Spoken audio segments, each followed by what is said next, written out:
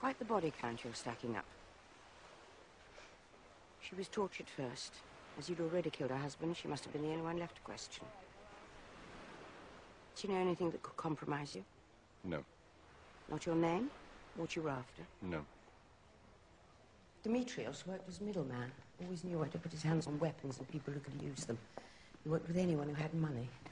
For years, he was involved with a man we knew as Le Chiffre, private banker to the world's terrorists. He invested their money and gave them access to it wherever they wanted. Oh, good. You're here. Albanian, we believe. Chess prodigy. A bit of a mathematical genius and like to prove it by playing poker.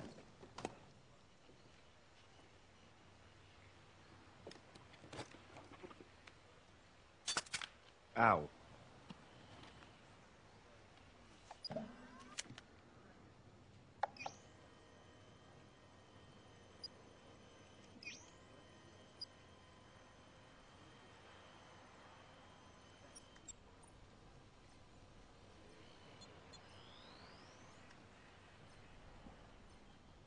So you can keep an eye on me?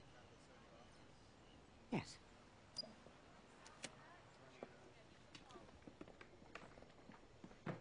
When they analysed the stock market after 9 11, the CIA discovered a massive shorting of airline stocks.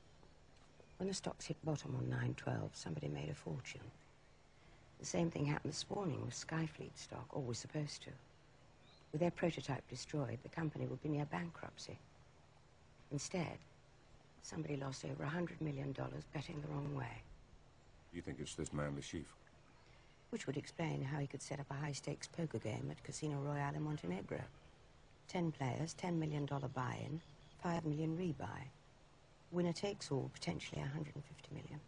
Good. Then we'll know where he'll be. Do you want a clean kill or do you want to send a message? We want him alive. Le Chiffre doesn't have a 100 million to lose. Has he been playing the stock market with his clients' funds? Well, I'm going to be too happy when they find out it's gone. We can't let him win this game. If he loses, he'll have nowhere to run.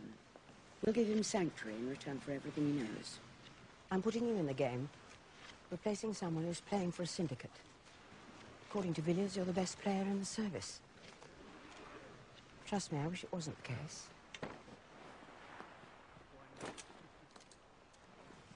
I would ask you if you could remain emotionally detached. But I don't think that's your problem, is it, Bond? No. Don't worry about keeping in touch. We'll know where you are. You can stop pretending. You knew I wouldn't let this drop, didn't you? Well, I knew you were you.